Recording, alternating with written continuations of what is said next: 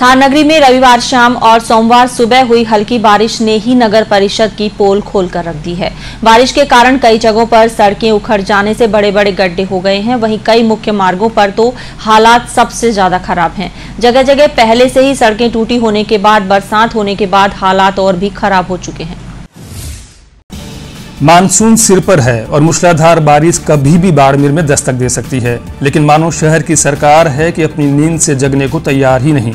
बाड़मेर शहर में खुले मैनहोल, सीवरेज और नालों की हालत मानसून के दौर में कभी भी बड़े हादसे की वजह बन सकती है। बाड़मेर शहर की कई टूटी सड़कें अपने आप में अश्क बहाती नज़र आती है। पार्कों के हालात खस्ता होने के साथ साथ स्ट्रीट लाइटें बंद पड़ी है। वहीं शहर में जगह जगह मैनहोल खुले पड़े हैं, जो विकास कार्यों की ज़रूरत के साथ हादसों को न्योता दे रहे हैं। नगर परिषद की ओर से इन मैनहोल को बंद करने की जगह अस्थायी तौर पर कहीं सीमेंट के स्लैब डाल दिए गए हैं तो कहीं पुराने ट्रांसफार्मर तो कहीं पत्थर की पट्टियाँ रखकर काम चलाया जा रहा है, जो शहर के विकास कार्यों की सीधे तौर पर पोल खोल रहे हैं। बाड़मेर शहर में जिला कलेक्टर आवास से निकल रहे मुख्य मार्ग पर रायकुलन रोड, सार्वजनिक निर्माण विभाग विश्रामगढ़ के ठीक आगे गांधी चौक के पास, रेलवे स्टेशन के सामने, तिलक बस स्टैंड के पास Mahatma Gandhi senior secondary school के पास कन्या महाविद्यालय के आगे की सड़क पर लंबे समय से मैन होल के ढक्कन टूटे हुए हैं।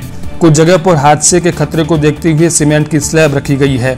इसी तरह जिला कलेक्टर आवास के पास सीवरेज के मैन होल का ढक्कन लंबे समय से टूटा हुआ है, जहाँ हादसे को रोकने के लिए स्थानीय लोगों ने अपने स्तर पर पत्थरों को रख रखा है, जो सीवरेज के खुले मैन होल से भी ज़्यादा खतरनाक बन चुका है। इसी तरह पीजी कॉलेज रोड पर भी कई मैन होल खुले हैं लोगों का कहना है कि शहर की सरकार को इन हादसों के ठिकानों से कोई सरोकार नज़र नहीं आता। शहर की बहुत दयनीय स्थिति है। जगह जगह पे कचरे के ढेर पड़े हैं। उसको उठाने वाला कोई नहीं है।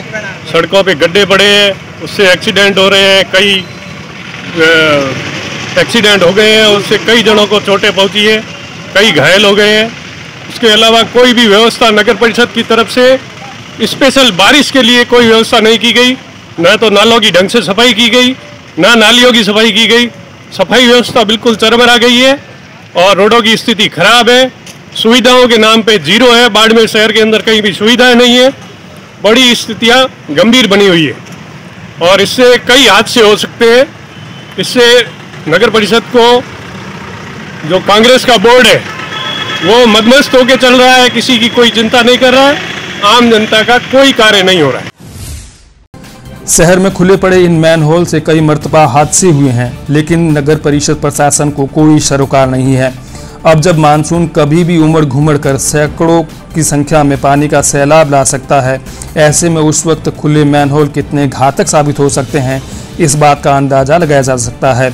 लेकिन जब जिम्मेदार ही आँखें मूंदे हो तो शिकवा और शिकायत किससे करें?